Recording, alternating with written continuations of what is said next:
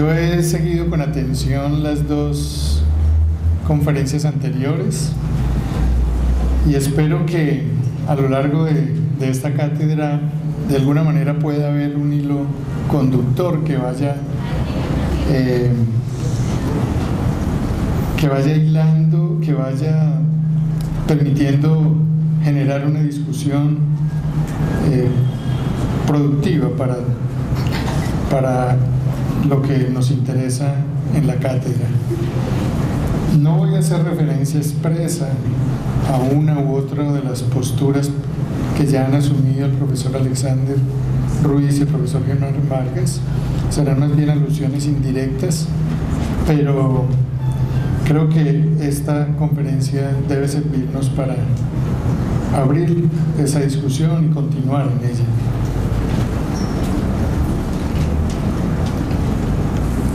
Voy a trabajar tres categorías. Eh, la noción de práctica pedagógica, la noción de saber pedagógico y la noción de saber escolar, que es en realidad donde quiero hacer énfasis.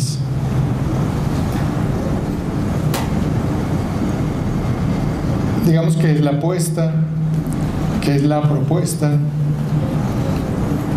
que hemos venido haciendo un grupo de colegas del grupo de historia de la práctica pedagógica muy recientemente. Espero poder dejar como las ideas generales básicas de lo que significa esta línea de investigación que hemos llamado Historia de los Saberes Escolares. Pero para eso quiero hacer unas precisiones que considero necesarias sobre la noción de práctica pedagógica y la noción de saber pedagógico que han sido propuestas y trabajadas por el grupo. A propósito justamente de la charla anterior, incluso de la presentación, Edgar.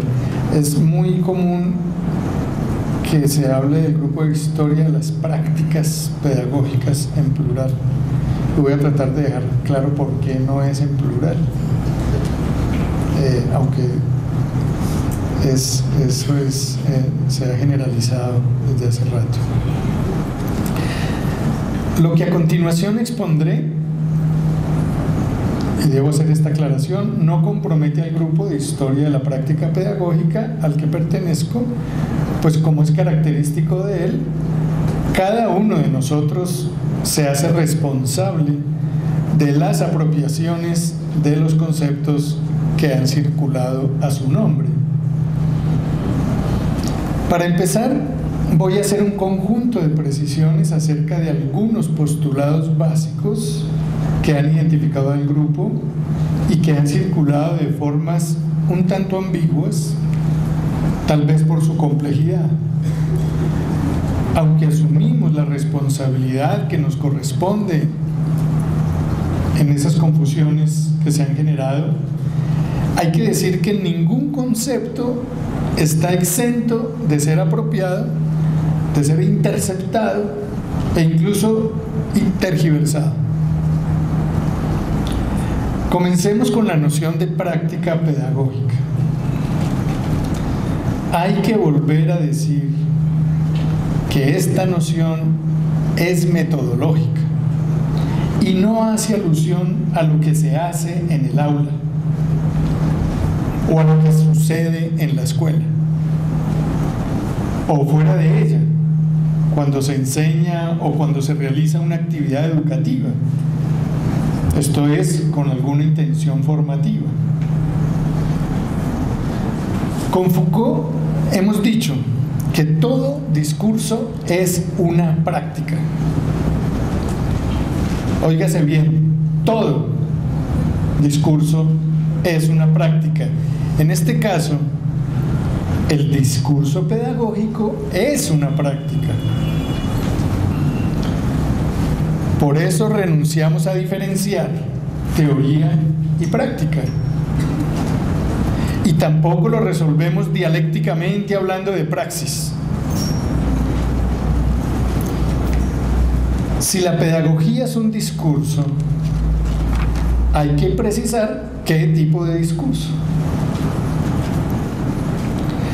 Aunque al comienzo Olga Lucía Zuluaga alcanzó a hablar de la pedagogía como disciplina, hay que señalar que luego ella y el grupo todo siguió hablando de saber. Este, el saber, es un modo de ser del discurso, un modo no disciplinar, no científico y por lo tanto no epistemológico. En el contexto de los años 80, preguntarse por la epistemología de la pedagogía era subversivo. Y se hacía en el contexto de la lucha del magisterio por hacer valer su condición de intelectuales.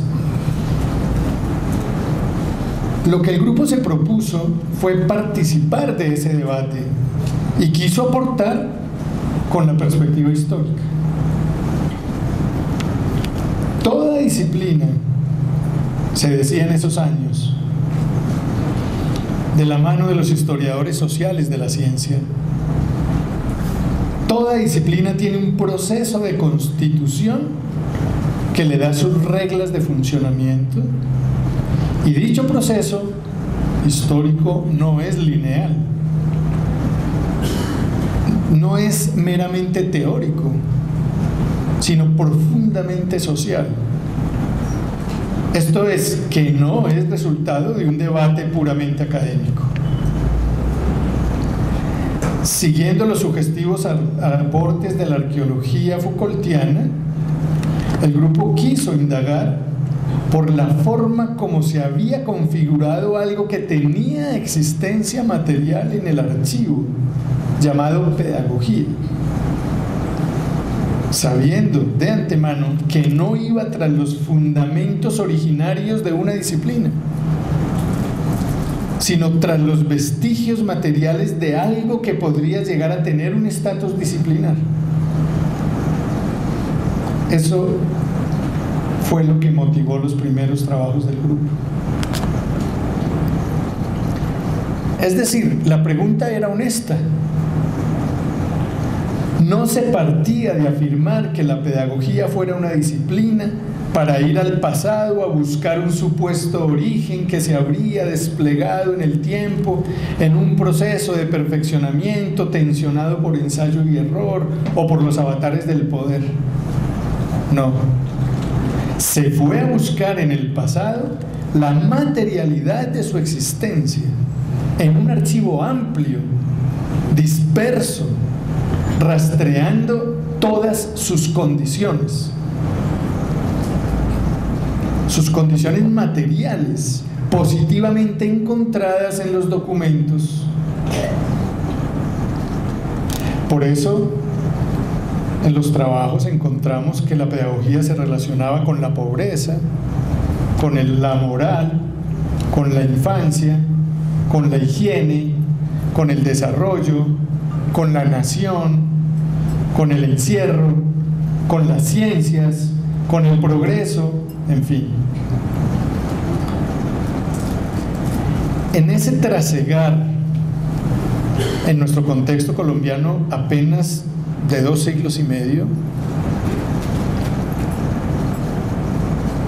encontramos que la pedagogía hubiera podido alcanzar un estatus epistemológico, como lo alcanzó como lo alcanzaron las ciencias sociales o la biología o la economía más recientemente, o como lo alcanzó la misma pedagogía en Alemania durante un tiempo.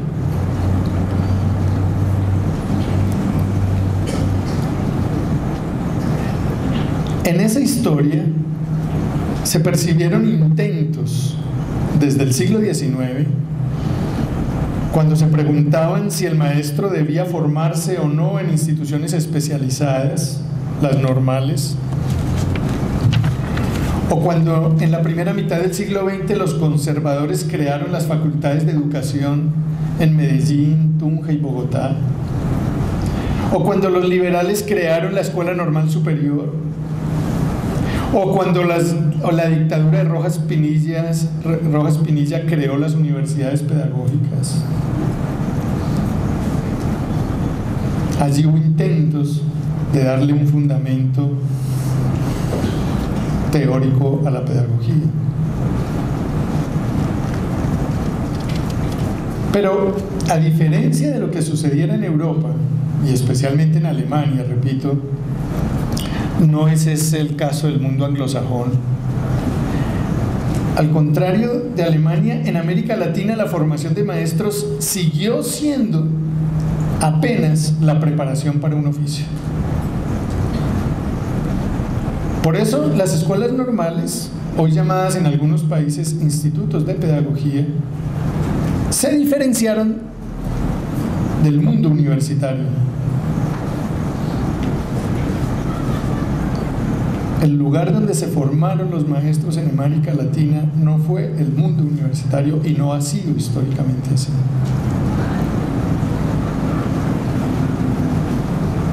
Es distinto en casi toda América Latina las facultades de educación, donde se forman científicos de la educación, que no son maestros. Y se hizo esa separación. Y se ha hecho esa separación históricamente.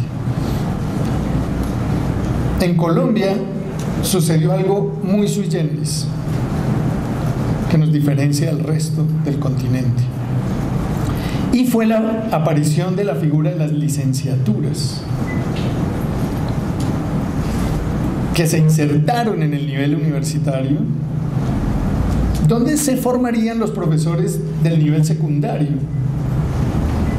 Dejando las normales para la formación de maestros. Título siempre fue ese, maestros las normales.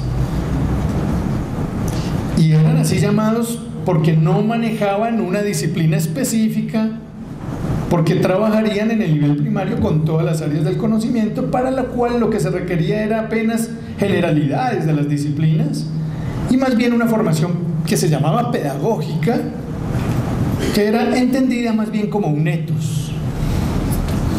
De eso se ocuparon las normales. En ninguno de los dos casos, ni en las licenciaturas, ni en las normales, la pedagogía siguió el camino de la epistemologización. En las licenciaturas se hablaría de didácticas de las disciplinas. Hablaría de psicología y después de los años 60 se habló del currículo y toda una suerte de materias que orientaban la práctica para hacer que el profesor administrara con eficacia la enseñanza de su disciplina. Y esto casi hasta nuestros días. De manera que el debate que se planteó en los años 80 acerca de si existía o no una epistemología de la pedagogía fue más un ejercicio de buena voluntad, que finalmente no logró consolidarse en un corpus teórico que obedeciera unas reglas de validez universal, donde pudiera probarse una a una sus hipótesis.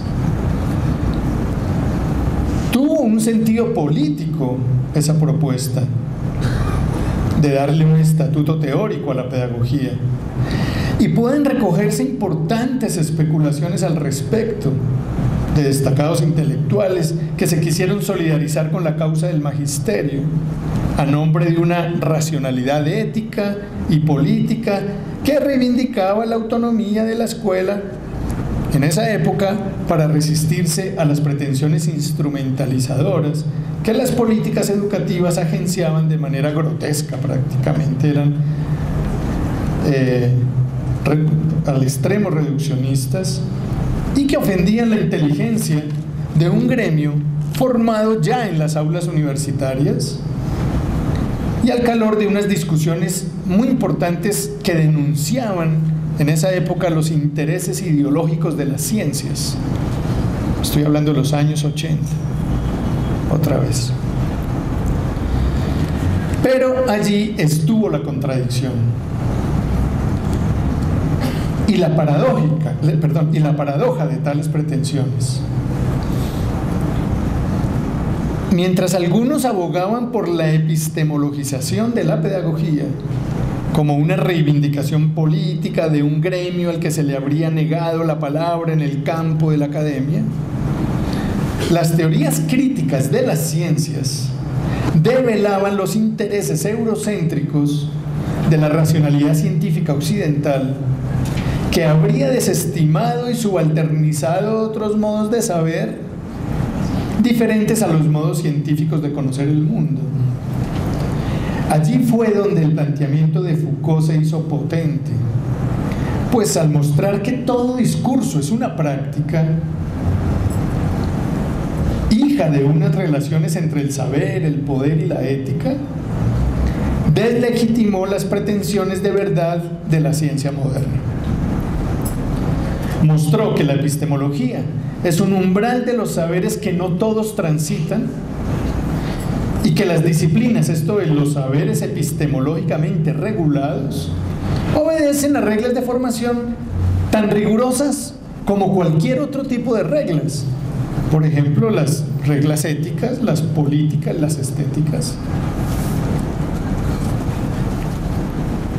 Las que regulan los, los discursos éticos, estéticos, políticos. El trabajo del grupo, en medio de su dispersión, ha consistido entonces en mostrar que la pedagogía es un saber que en Colombia no tuvo su momento de epistemologización. Y reivindicar ahora tal estatuto podría ir en contracorriente de los discursos más críticos. Y no sabemos si esto serviría para algo ahora que el conocimiento científico está perdiendo su legitimidad, al decir de Lyotard. El asunto que hemos querido enfrentar, en cambio, es caracterizar el tipo de saber que constituye la pedagogía. En consecuencia, con la noción de práctica, sabemos que esto no es un asunto que se resuelve en la academia, las cátedras o en los tribunales de conciencias, que clasifican el conocimiento como si fuera medible.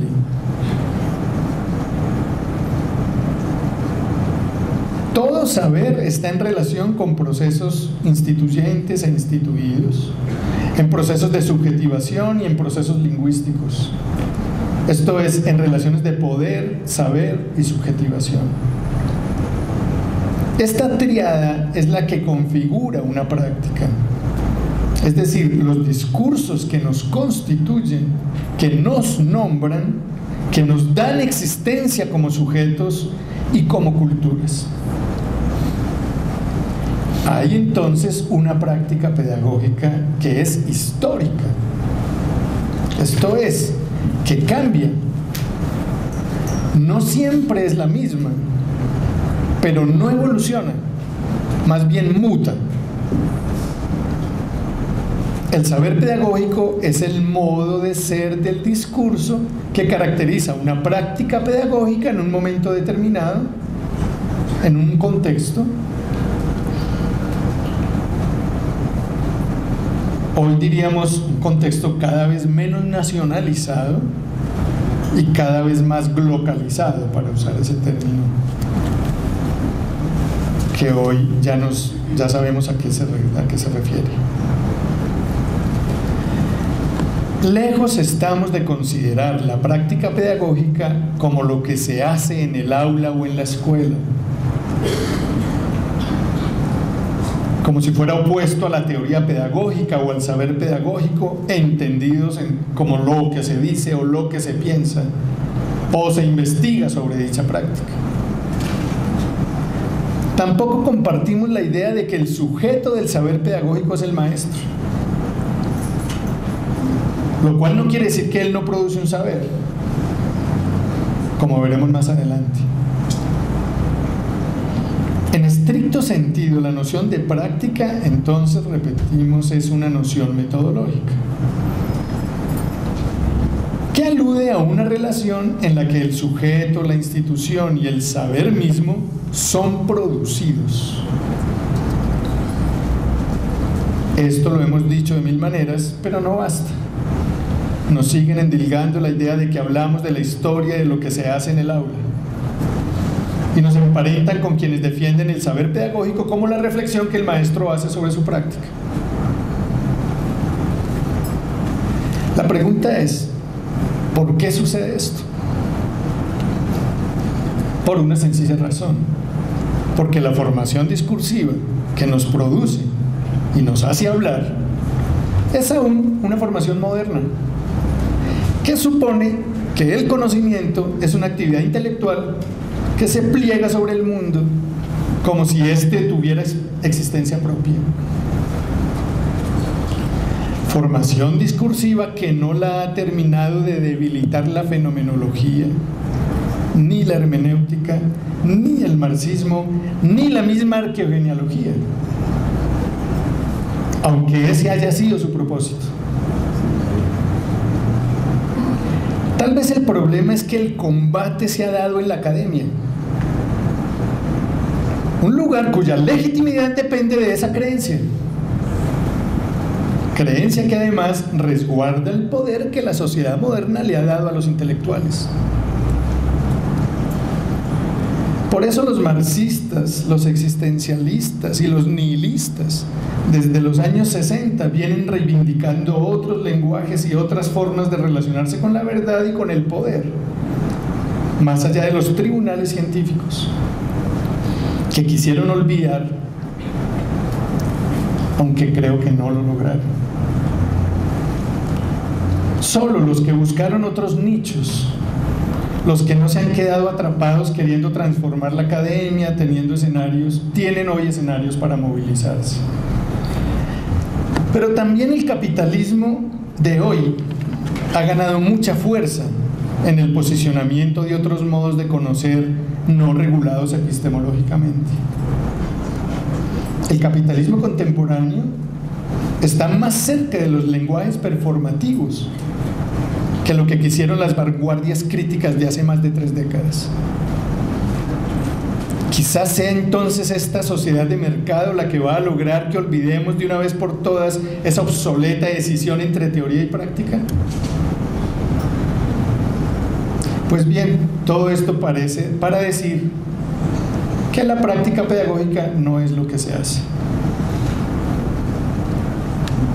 Ahora bien, ¿Qué es el saber pedagógico para el grupo? Segundo punto. Acá hay menos consensos en el grupo. Sin embargo, partimos de reconocer que no es estrictamente lo que sabe el maestro. Tampoco es una reflexión sobre la práctica es el modo como la pedagogía adquiere su existencia en nuestro contexto histórico. Por eso el advertía muy lúcidamente desde el principio, la opción por la arqueogenealogía no es una opción teórica, ni siquiera metodológica, es una opción histórica. Es el modo de ser de la pedagogía en nuestro contexto, el que nos obliga a usar esas herramientas. Otras herramientas nos hubieran llevado a buscar sus reglas de formación epistemológica que no íbamos y no se estaban y no se pudieron encontrar.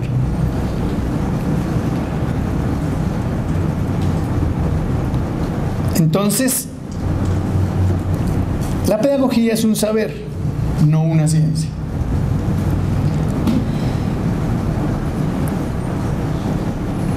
Va mucho más allá de la escuela, pues tiene relación con la práctica en la que se constituye. Y esta pasa por múltiples escenarios discursivos y no discursivos. En la actualidad podríamos decir que el saber pedagógico se ha descentrado más que nunca de la escuela. pues está relacionado con modos de subjetivación que gobiernan hoy los medios de comunicación y el modo de producción postfordista. Hacia atrás, el saber pedagógico estuvo transitando el mundo del trabajo fabril y el mundo social comunitario que agenció el desarrollismo. Más atrás habitó las instituciones que higienizaban para alcanzar la forma nación que se procuraba. En la primera mitad del siglo XX, incluyendo en un lugar muy privilegiado a la escuela en esas décadas, pero no se reducía a ella, tampoco. Antes estuvo ligada más bien a la idea de patria y a la civilización. Y podríamos ir un poco más atrás, siguiendo los trabajos de historia. El saber pedagógico en todo ese recorrido pasó por la escuela, claro, pero la trascendía en tanto siempre estuvo producido en relación con los modos de gubernamentalidad, es decir, de Foucault, que ha producido los sujetos en la modernidad. Nos queda por discutir si las prácticas de sí de las sociedades orientales, griegas o amerindias, si quieren, producirían un saber pedagógico o si esto es propio de las sociedades pastorales, disciplinarias o de control.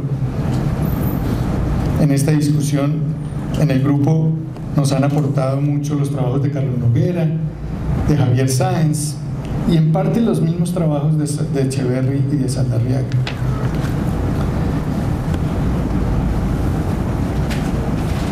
Sin embargo, a todos en el grupo nos ha inquietado mucho este presente este presente en el que la pedagogía se ha desligado de la escuela cada vez más. Para entender esto, Alberto Martínez ha propuesto el concepto de educapital. Echeverry y Zuluaga la noción de, de campo conceptual. Dora Marí la noción de autoaprendizaje. Sáenz la de pedagogía como subjetivación. Noguera la de sociedad del aprendizaje. Javier Fallad explora las pedagogías indígenas. Ríos Saldarriaga, en otro momento yo hablé de sociedad educadora. Ríos Saldarriaga y ahora, y, en, el proyecto en el que estamos ahorita, al que les voy a hacer mención, hemos hablado de la noción de saber escolar.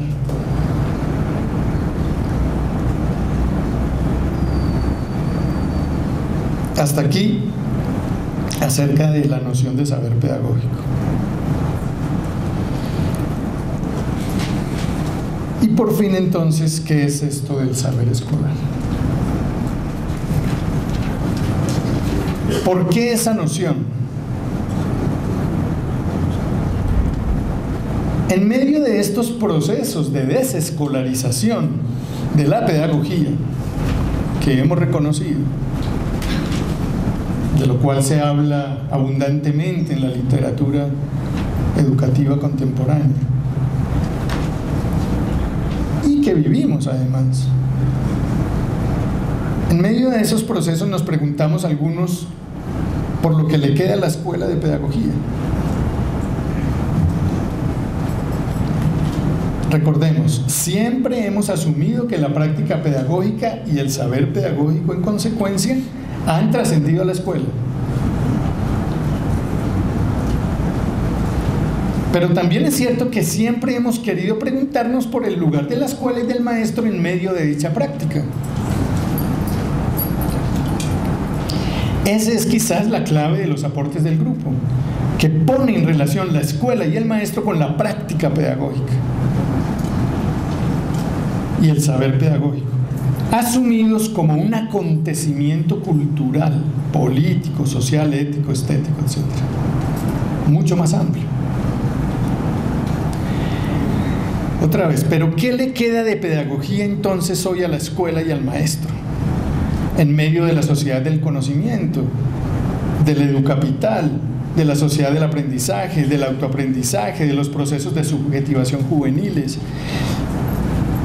en, en escenarios mediáticos o en medio incluso de las pedagogías indígenas, de las pedagogías comunitarias, populares, feministas y demás.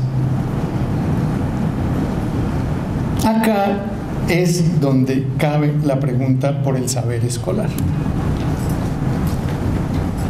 Es justo ahora cuando cobra importancia indagar con los maestros en la escuela qué son capaces de hacer, qué son capaces de pensar, qué es posible pensar, qué es posible enseñar, cómo hacerlo y cuál sería el estatuto y la naturaleza de ese saber. Ahora que las disciplinas y las epistemologías están tan relativizadas. Lo que constatamos por demás es que también a la escuela han llegado los discursos de autoaprendizaje. Han llegado los discursos de las subjetivaciones y las culturas juveniles.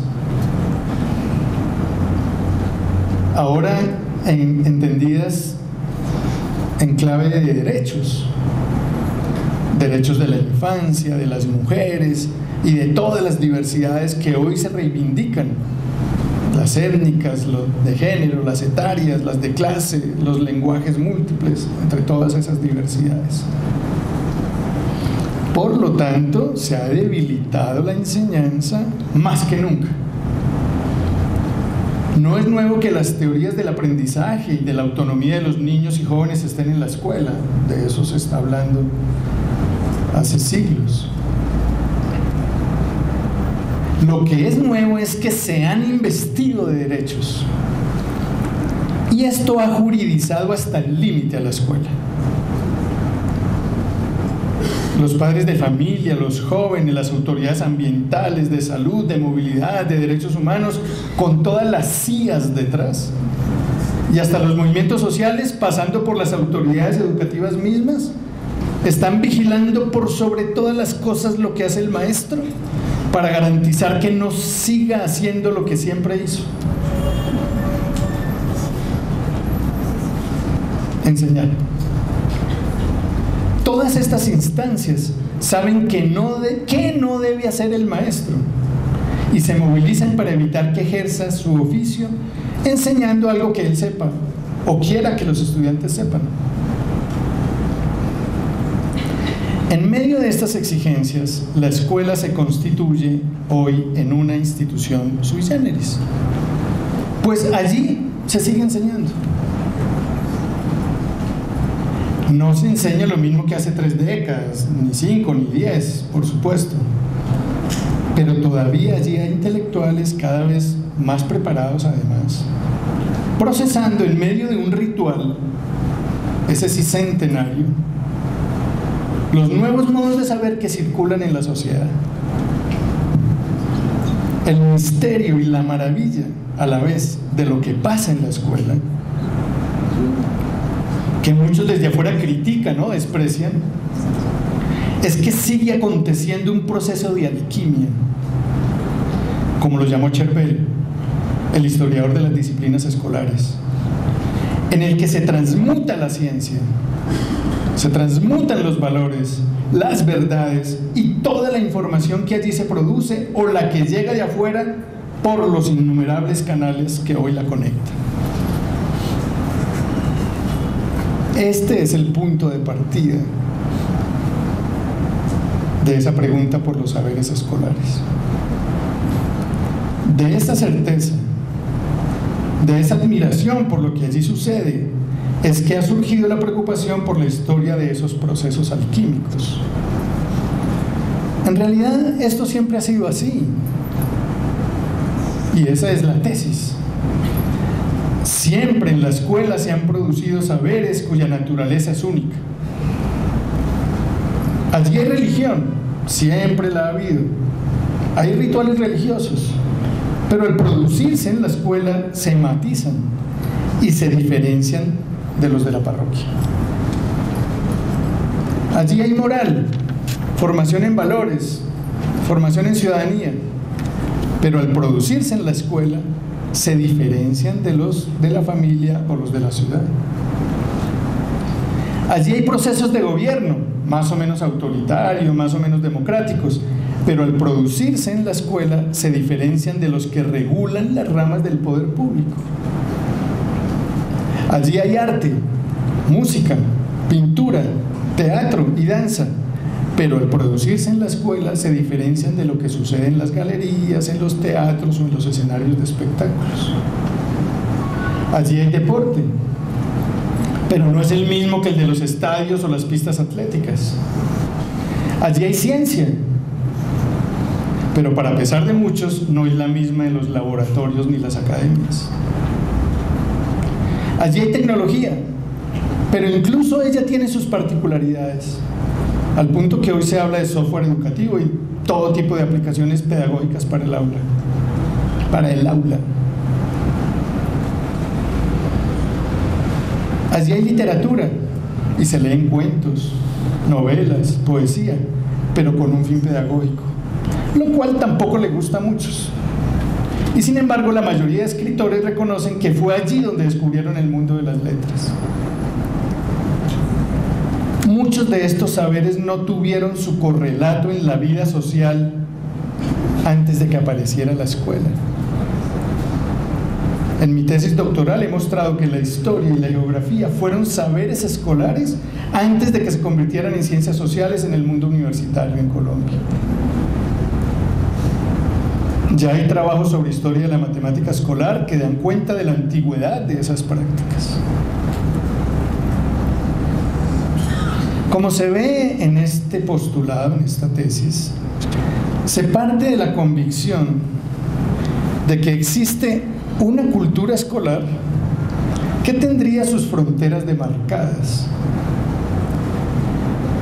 Esto significa que la escuela no es un simple espacio de reproducción de la vida social o de las relaciones sociales de producción, como se sostuvo en la pedagogía crítica.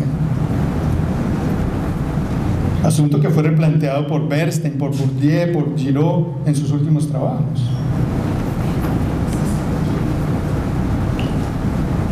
Tampoco es el lugar instrumentalizado que reproduce las políticas educativas tal como lo han pretendido los funcionalistas y tecnólogos o tecnócratas de la educación durante muchas décadas.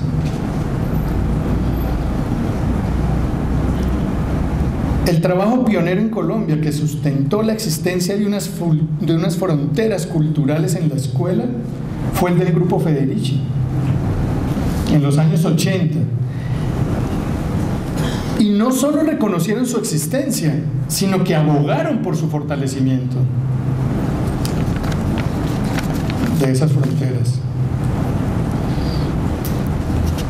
Lo que hay que desentrañar con miradas muy finas es cómo se crean esas fronteras, cómo se produce esa alquimia, cómo se procesan esos saberes.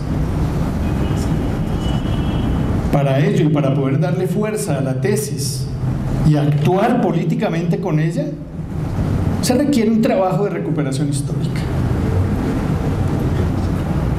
La historia de la cultura escolar ya tiene importantes avances en la comunidad de historiadores de la cultura y de la educación.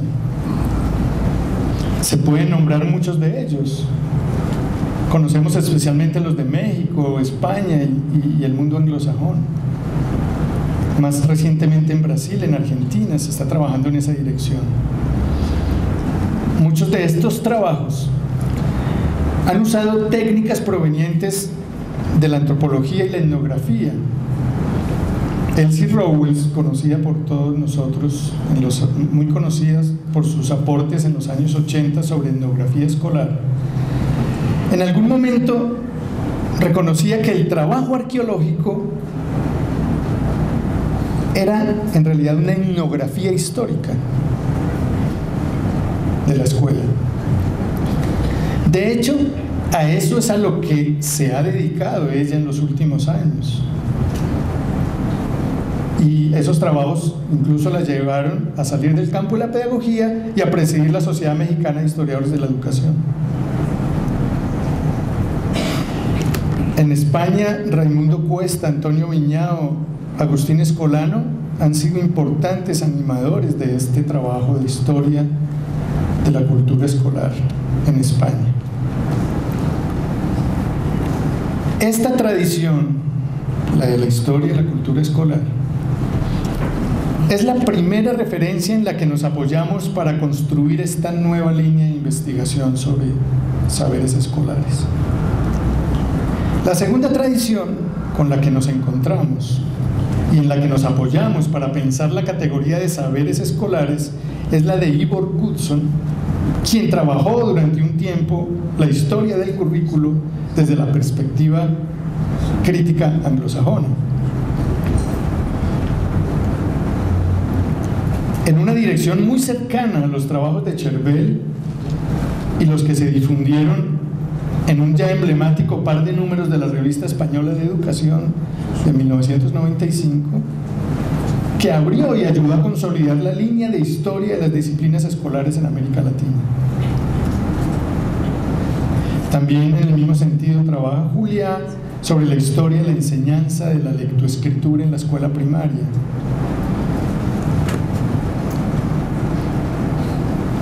En esos trabajos se está mirando con detalle diferentes disciplinas escolares para ver su singularidad, su originalidad y por supuesto sus relaciones con los campos de saber más amplios que la, sin duda la permean.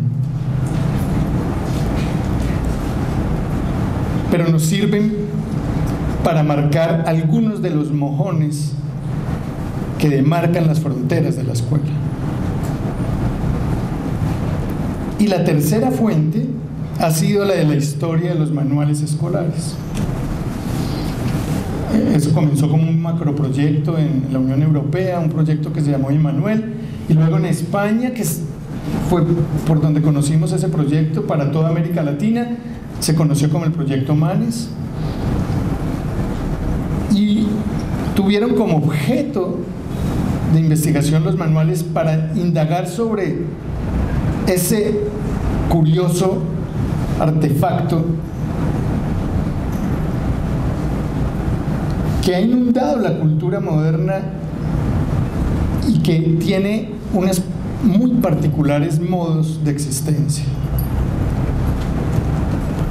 Sobre eso hay abundantes trabajos y hay un acervo eh, documental, un archivo que se conoce, una línea de investigación que se conoce incluso como la manualística. Un trabajo al que nosotros también hemos querido aportar desde hace años en la Universidad Pedagógica, con trabajos no solo del grupo, sino de otros colegas historiadores de la educación, Marta Herrera, por ejemplo, Marta Cecilia Herrera. Bien, estos tres tipos de trabajo sobre cultura escolar, sobre disciplinas escolares, sobre manuales escolares, nos han ayudado a fundamentar nuestra línea de investigación, por cuanto todos coinciden en afirmar las particularidades de la cultura escolar, ya sea en sus ritos y sus mitos constituyentes, en sus currículos, en las disciplinas que se enseñan o en los formatos en los que circula el conocimiento que allí se enseña. Todos han encontrado que históricamente se han configurado unas fronteras que la delimitan, que la diferencian, que la hacen singular en relación con la sociedad, con el mundo de las ciencias y con los códigos que representan la cultura, que representa la cultura más allá de sus límites. Estos hallazgos son polémicos, sin duda, pues de allí se desprende un interrogante acerca de la función de la escuela. Reconocemos que ella no ha sido creada al margen de requerimientos políticos, de requerimientos religiosos o ideológicos. Al contrario, está históricamente incrustada en las estructuras del Estado moderno Es hija del poder pastoral que el cristianismo universalizó desde finales de la Edad Media. Y le debe mucho de sus matrices constituyentes a la ilustración también. Es decir, a ese sueño de emancipación que las luces prometieron. Y también a la tarea civilizadora que hasta el siglo XIX se propuso Occidente para intervenir en los demás continentes y en las demás culturas. Por supuesto que también le ha servido a los intereses de la industrialización en sus diferentes fases, incluso a la sociedad de las redes que hoy caracterizan este presente, al decir de Castells. Siendo esto cierto, lo que las historias de la cultura escolar, de los manuales, de las disciplinas y del currículo han encontrado es que en su interior se ha tejido una malla de relaciones que le son propias un lenguaje, unos códigos y unas representaciones que aunque no han permanecido en el tiempo, sí han adquirido matices, tonalidades y referentes que no comparten con otras instituciones o con otros escenarios sociales.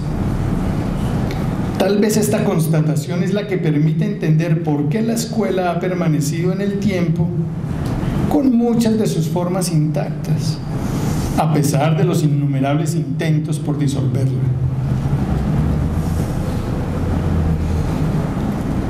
La noción de saber que hemos prestado de Foucault nos permite dar cuenta de este fenómeno. El saber pedagógico, ya lo dijimos, sería un modo de ser del pensamiento que se configuró para el gobierno de sí y de los otros, si aceptamos que hay pedagogía antes de la modernidad. Por lo tanto, la escuela, y no solo ella, funda sus estructuras en dicho modo de ser del poder, pero a la hora de preguntarnos por lo que la distingue de otros dispositivos formativos, es cuando nos, aparece, nos parece de gran utilidad hablar de saber escolar. El saber escolar, digámoslo de una vez, sería aquello que se configura como decible y visible en unos enunciados cuyos dominios de objeto, posiciones de sujeto y conceptos le distinguen de otros que operan en el saber pedagógico más amplio dentro de una formación discursiva determinada. Para reconocer qué es y qué no es saber escolar, hemos emprendido un trabajo arqueogenealógico de largo aliento, esperamos, que se alimenta del proyecto de historia de la práctica pedagógica, por supuesto, pero se centra en resolver una pregunta más precisa. ¿Qué es lo que hace que la escuela siga siendo escuela? ¿Qué la distingue en el amplio espectro de la cultura y qué, es lo que la potencia hoy en día en el proceso de pedagogización de la vida social, como lo llama Mario Díaz?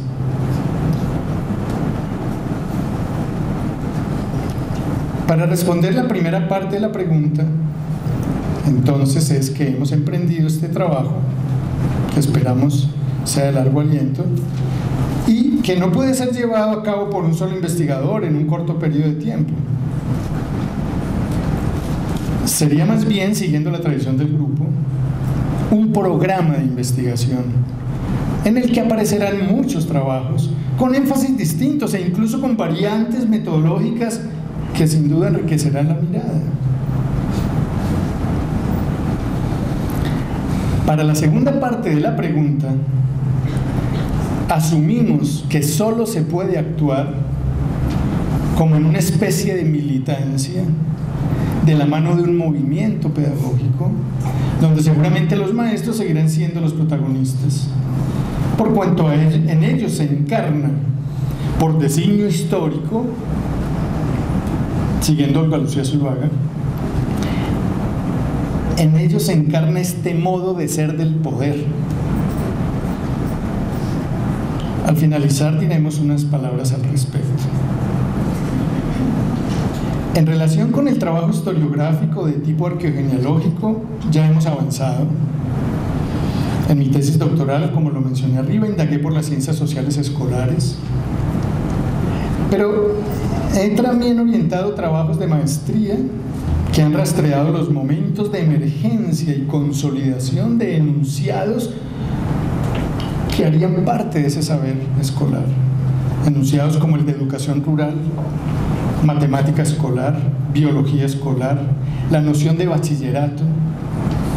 Es un proyecto inscrito en un proyecto también de largo aliento de Oscar Saldarriaga sobre el bachillerato y la filosofía en el, escolar. Eh, trabajos que se han detenido en los manuales de lectoescritura, trabajos sobre la historia de la educación física, varios, sobre la noción incluso de calidad, la psicopedagogía, la educación para el trabajo, la noción de buenas prácticas en educación, entre otros. Y más recientemente estoy acompañando cuatro tesis doctorales que trabajan en torno a la, uno de ellos la geografía escolar, otro la salud en la escuela, la escuela saludable, otro sobre la escuela en la ciudad y otro sobre el maestro como sujeto de formación.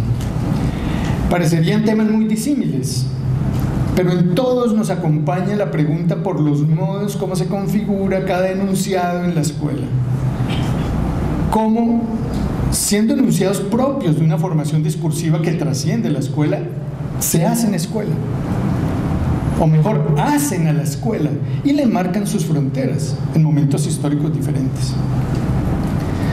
Habrá que esperar un proyecto que pueda leer estos trabajos para hacer un metaanálisis que permita avanzar en reflexiones más generales y nos ayuden a aproximarnos a la pregunta que les es común a todos.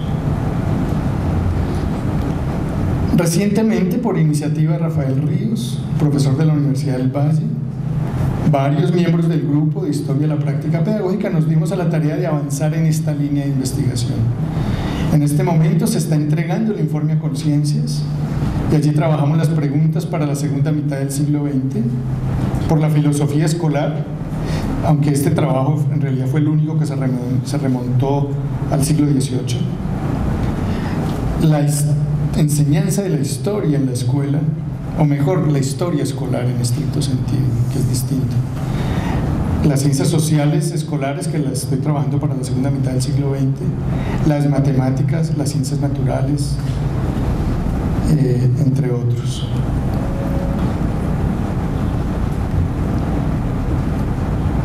Cuando nos preguntamos en los programas de licenciatura o en las escuelas normales en qué consiste la formación pedagógica de los futuros maestros, muchas veces se reducen, tenemos que decirlo, a la didáctica. Esta es una queja reiterada desde hace décadas. Sin embargo, la didáctica, por supuesto, no puede desaparecer del campo de la pedagogía, pero no es suficiente.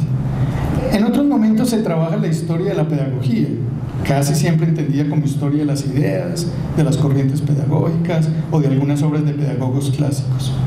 Dichas temáticas son también importantes, sin duda. En ocasiones se incluyen materias como educación y cultura, política educativa, sociología de la educación, aspectos igualmente válidos. En menos casos se trabaja la epistemología de la pedagogía, y este difícil asunto suele resolverse presentando el mapa de las tendencias epistemológicas, positivismo, dialéctica, hermenéutica, constructivismo y algo de cómo se aborda desde allí la pedagogía. Esto sirve para acercarse a ese debate general sobre el conocimiento. En algunos casos en algunos grupos de investigación, entre ellos varios de la Universidad Pedagógica, se ha desarrollado una línea conocida como pensamiento del profesor, pero no sé qué tanto se han incluido los resultados de estos trabajos en los procesos de formación de los maestros, en licenciaturas. Allí se habla de una epistemología propia para entender lo que se enseña. En general están rigiéndose aún por las lógicas del pensamiento científico, al buscar allí una epistemología.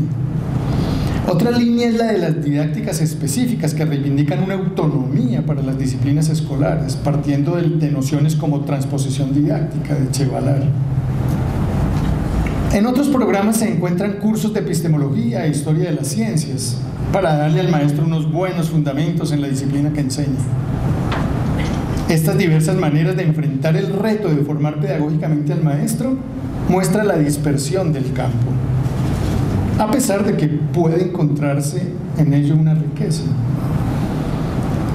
La línea de historia de los saberes escolares aspiraría a ser parte de este amplio campo conceptual de la pedagogía, especialmente en lo que se refiere a la formación de maestros. Ya vimos que para el grupo el campo conceptual y narrativo de la pedagogía va mucho más allá de la escuela. Si se ha indagado por la historia de las ciencias o de las corrientes de la epistemología, los problemas de la cultura o la sociedad para darle un mapa contextual a los maestros, estaría bien trabajar acerca de aquello que le es propio a la cultura escolar, para nosotros los saberes escolares. En dirección, en dirección a la segunda parte de la pregunta, hay que decir que esta línea que proponemos tiene un horizonte político, que sigue siendo el mismo que le dio origen al grupo de historia de la práctica pedagógica, y es la reivindicación de lo que hacen los maestros y del papel de la escuela como escenario para pensar de otro modo. Aunque sepamos que el saber escolar no es el saber de los maestros, este es producto del saber escolarizado, Así como el saber pedagógico tampoco lo es, este es un modo de pensar que está disperso en una formación discursiva. Recordemos que no buscamos autores ni sujetos del conocimiento. Con todo, sí creemos que en esta formación histórica, hoy los maestros y con ellos la escuela constituyen una fuerza capaz de recrear el mundo, de interrogarlo, de sospechar de tantos lugares comunes y verdades impuestas por las pedagogías ahora mediáticas que no hablan sino de competencias, de eficiencia, de desempeños y de productividad. Este propósito político no quiere desligarse de muchas iniciativas que siguen fortaleciéndose en nuestro entorno. Solo mencionaré algunas, pero no niego que son muchas más. Me refiero a lo que en Medellín se ha hecho desde la llamada Escuela del Maestro, hoy MOVA, o lo que la red SED, Red de Cualificación, red de, cualificación de Maestros en Ejercicio, se, propuse, se propuso hace años desde la Universidad Pedagógica y que con el acompañamiento persistente de Pilar Hunda hoy se ha juntado con procesos de maestros de toda América Latina, que se reúnen cada dos años en el encuentro de colectivos de maestros que investigan desde la escuela, o a lo que hace el IDEP desde hace años, y que hoy se concreta en un programa de cartografías pedagógicas, donde la noción de saber escolar cobra un especial significado. Por supuesto, a lo que la expedición pedagógica ha generado desde el año 2000, a lo que el programa Ondas de Conciencias generó, incluso después de que se cancelara había sobrevivido en contra de, todas esas lógicas productivistas de conciencias. En fin, cientos de colectivos de maestros aún continúan trabajando por iniciativa propia en procesos de consolidación de su profesión y su autonomía intelectual. Así la escuela se convierte, creo yo, en un pliegue que abre otras posibilidades en esta época de incertidumbre dirigida y de miedo programado. Allí creemos, en el interior de la escuela, en sus fronteras históricamente constituidas y recuperadas desde un ejercicio de memoria de esto que queremos llamar, saber escolar, quizás sea posible fortalecer la esperanza de que nuevas generaciones se afirmen sin temor a lo que otros dispositivos quieren diluir. La idea de la igualdad y el bien común como espacios libres de la individualización y de la, mercantilización que nos fragmenta al infinito. Gracias.